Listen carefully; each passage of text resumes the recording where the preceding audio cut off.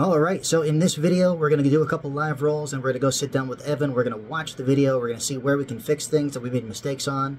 And that'll be part one. Part two, we're going to go through and we're going to fix those mistakes. I'm going to teach him and we're going to videotape him going live at Daisy Fresh trying to get that stuff. I made some mistakes in the audio in this video. I didn't realize it was still playing in the background. That's my fault. Hopefully you guys can still hear some of it and get something out of it.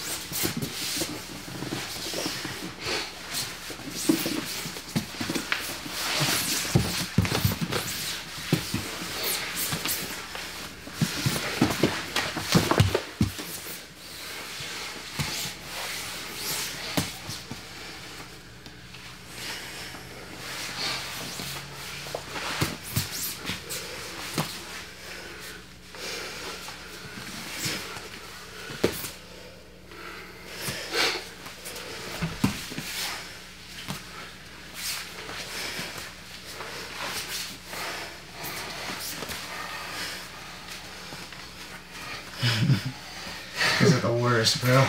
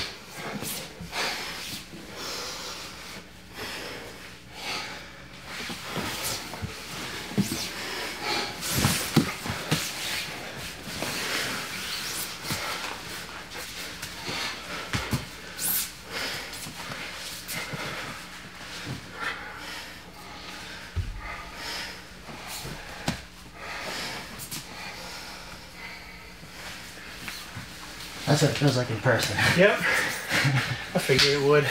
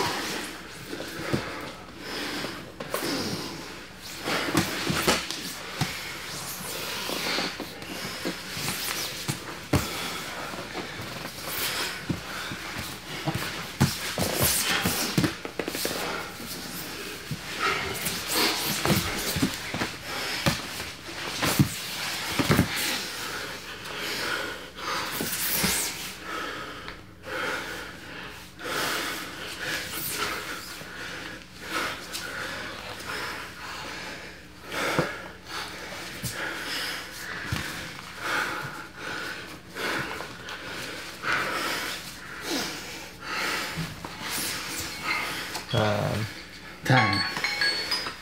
Had him right where I wanted him. All right, so we've got Cool. Evan here, and we're gonna go over the footage, and we're gonna try to point out mistakes that we made, both of us, and where we can kind of do better. So I'm fucking. gonna have this running. Uh, guys, if you ever Okay. see me on my phone in a video, rest assured I'm not answer. I'm not answering messages or anything like that.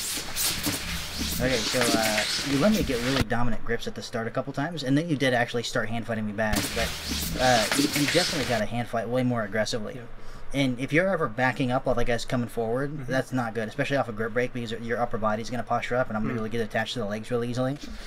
So it helps like come down, treat it like a wrestling match. Come down and hand fight with your head, hand fight with your your body positioning also, and not just uh, kind of like back up and try to disengage. Now, when you get put on uh, shin on shin or two on one, okay, you have to put the hip into the pocket. So like you've got to actually take my hip and pin it down on the mat this way. So like your knee ideally is going to go right here, but with my hip actually pinned down this way. That way I can't lift you off to the side.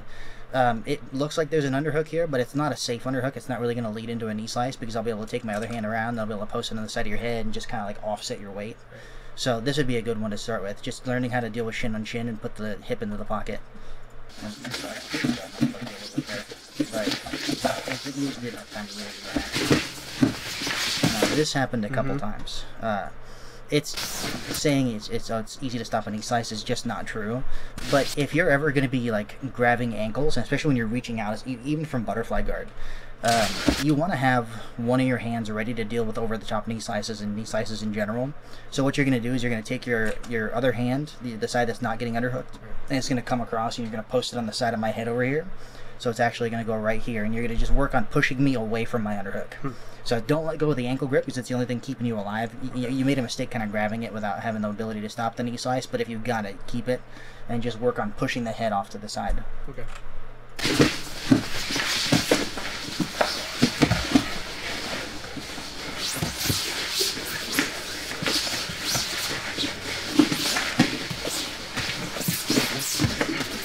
So for knee on belly, when you go to push it off, you got to be real careful you don't actually uh, lift your elbow up on those underhooks. 'Cause you still want, you can still push the knee off, but it's got to be from like a really tight frame. Okay. So instead of like a frame where your elbow lifts up, it's got to be a frame. the. Yep, don't flare your elbows. Okay. That'd be a general rule everywhere. Never flare your elbows down, especially when the guy at the top. And I don't think I ended up doing too much with it. I was thinking about spinning to the armbar. I was thinking about uh, actually using the spacer back to but I didn't end up going for it. So you didn't get punished, but it did set me up.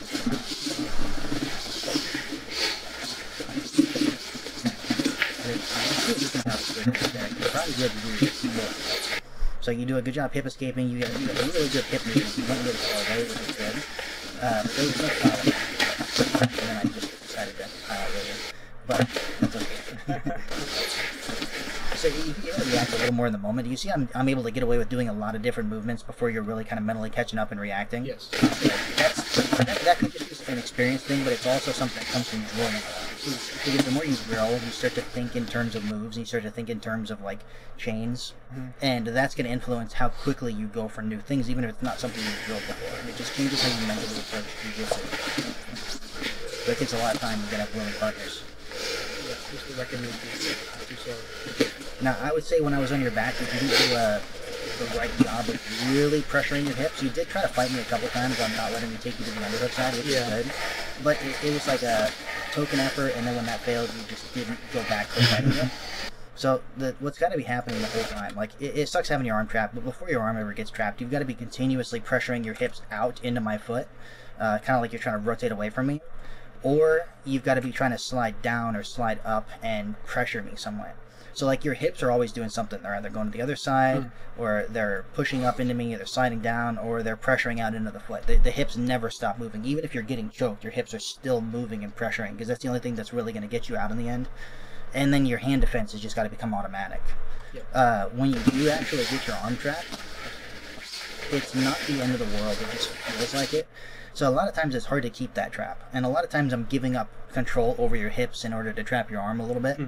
But the big thing you've got to do is just you know not panic. You can't just fight the choke forever though. Mm-hmm. So a lot of times it's worth it to just brace your neck and tuck your chin and just pray to God, and then go down and just try to push the foot off with two hands, and really try, you know, like do everything you can to get that arm back. And that's what's actually going to save you, unless you really can spin your hips out into me. Uh, sliding down and Is it the worst, bro? ends up putting you into a uh, reverse triangle a lot of times. Pressuring up and in the middle, your, your arm because it helps you kind of like drag your arm out. So like that, Yeah, like pushing up towards my towards your head. I like that you don't stand straight up. Uh, you reach a lot with your lead arm and your leg, which is not as big of a deal if you're not wrestling, but it- it's one of the things that lifts you to finish it off. Uh, I thought it was good that you went for the Pacific, but I let you, like, like I got a two on one grip and I pulled myself in to a two on one on the leg. So I don't have a name for this guard yet, but it, it's like my shin on shin reverse De La Riva hybrid that I play. And let me kind of like offset it in the same you know, it's the same it, just kind of with. And then uh, your. As soon as I came up, once you recognize that you're swept, you want to immediately change gears and just start playing guard. I think you, you maybe thought to get up a little bit too long, and then I was able to. You Yeah. notice I'm always kind of pinning someone's hips down into headquarters right away, but then you didn't keep your top frame like stable enough and braced enough, so I was able to just sprawl out on it right away. Which is why I teach that pass uh, the way that I do. You, it's one of the most frequent passes that I get from headquarters. Now you did a really good job keeping a tight butterfly hook. I got a little overzealous thinking I was just gonna backstep out of it, but you actually did get pressure. It's a mistake on my part to try to backstep out against your pressure. So then I had to come back down and. And you another use some football chance get out. So that was really good. Good butterfly hook.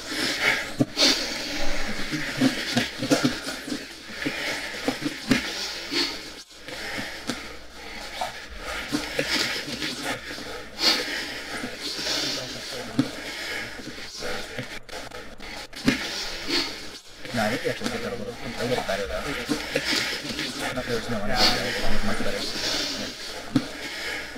Now, uh, th- this is more to point out something that I'm doing that you can incorporate into your Mhm. game.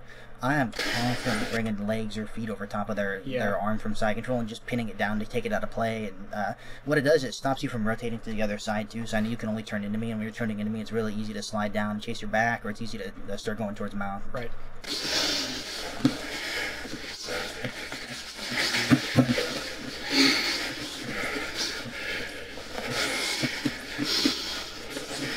Now, the best time to escape mount is but well, before you actually get mounted. Right away. But like right away, because all that happens after you let me solidify is like I get my knees pinched, I get my feet hooked under you, I start to pressure you. Now you'd have to escape against my pressure offensive threat. So it's another one that's just not pausing and kind of figuring your timing out. Uh, from drilling and just kind of switching how you mentally approach it to depending on what you fluid. Now, I think you made a big mistake when you reached across right here. A lot of people can't catch it as quickly, so I know you, you weren't really expecting it, but I'm so I'm ever mounted about you know, the function of it. And you're still not dead. Okay, so as soon as you get gift wrapped, you just do everything you can to put the shoulder back down on the mat. Like you get your elbow back down, get your shoulder back down. You Yeah. basically just force it down, and a lot of times you can free your elbow. You can at least delay how long it takes me to, to slide under and chase your back. Hmm. And then there you could have kept trying to turn out, but you could have tried to spin out. Uh, it's a safe transition in the back. Usually it's really hard to get away, but during the transition is when you have the best chance of actually getting away.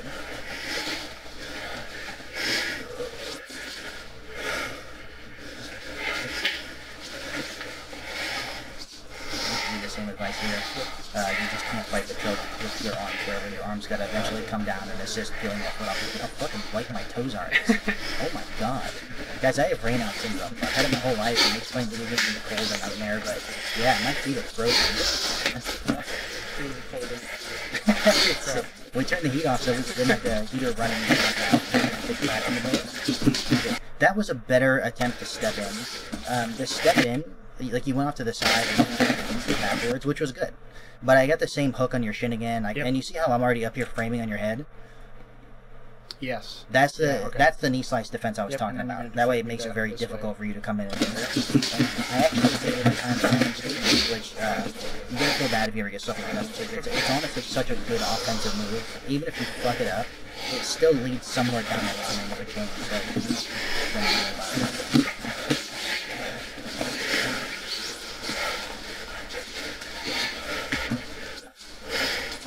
don't worry about it. Okay, you see how right now you could be pressuring your hips up Yes. really hard, I'm kind of skating this down. like trying to drag your elbow line out. I think I was trying to swivel my wrist inside with this stupid this stupid part. That's what it feels like in person. They swivel your wrist inside depending on how tight I have That's it. it. But the problem is my hand just comes down and waits for it to come out, and then I just re-catch it right away, Yep. and it makes it very difficult. Feels like in person. Yep. I figured it would.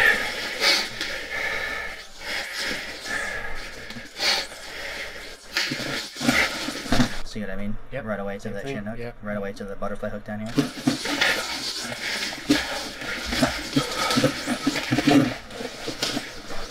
Would. That was um, you, you left an underhook opening for a little bit and I catched it back quickly. So that, that one's hard to say. when you- when you- Like you could have kept your elbows inside. You could just make it a habit, honestly. Which is hook hook me all the time. To just treat it aggressive. Reps on people. People like, straight on wings.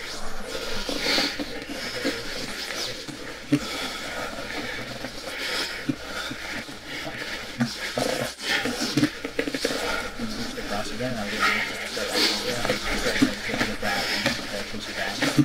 Now, when I, before I got the hook you could have kept jumping to I didn't get a clean transition. I actually fucked up hitting my foot on the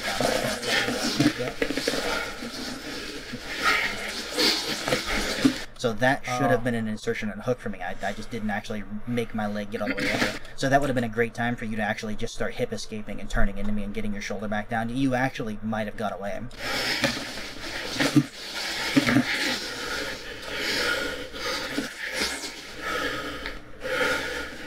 This defense is not too bad. Uh, stop me from trapping on using two hands on that one side. But the thing is, that the, the heel just keeps coming in over and over again. So that's why the hip defense is so important.